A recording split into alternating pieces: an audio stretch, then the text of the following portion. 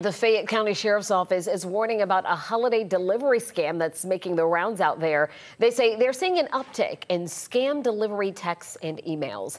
These messages will include a link to reschedule a delivery and send you to a web page that requests your name, address, and phone number and then prompts you to pay a redelivery fee. Officials say scammers can use the information you provide to steal your identity.